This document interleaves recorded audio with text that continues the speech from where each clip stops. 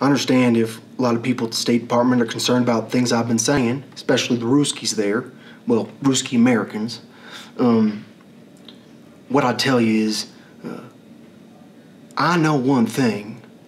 If I completely overwhelm their cities, and I, I completely kill the shit out of their cities, they're not going to have very many people to fight with.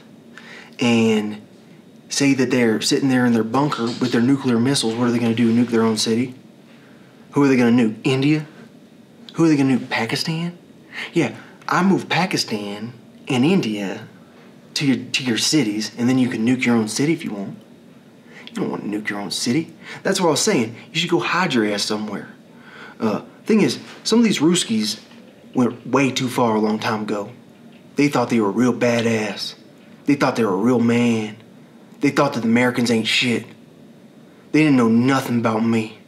Actually, Vladimir Putin found out about me. I know, because Russia Today. And turns out Vladimir Putin believes in someone called God. But the God he believes in, this Jesus, this Russian Orthodox Jesus, this, this church based in Russia, the Eastern Orthodox Church, that is based on the church that was beat out of Constantinople, which is now you know, Istanbul, Turkey, which is controlled by Muslims, and that's why they moved the Christian church.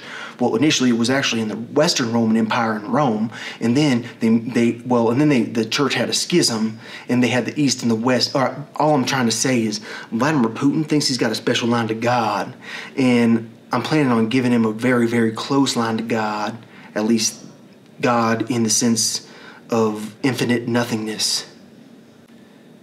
I understand y'all are concerned. What are they going to do? Try to nuke our cities? Yeah. ICBMs? Planes? Mm, pretty sure our Air Force is pretty solid. I know a little something about our coastal defenses. That's the other thing. You know, I'm not just a person that knows about, uh, you know, where you want to have your military located during World War III. I also know about defense of the United States. I spent a lot of time thinking about it. I traveled the United States on foot. I've been to those bunkers in San Francisco. I've thought about how we should should defend our coastlines. All right, so uh, I think Lilly Wachowski's gonna join with me. She knows one thing. You can get concerned about the fact that I'm hiring people from BYU and from Baylor and stuff like that. What, what I'll tell you is I can always fire someone.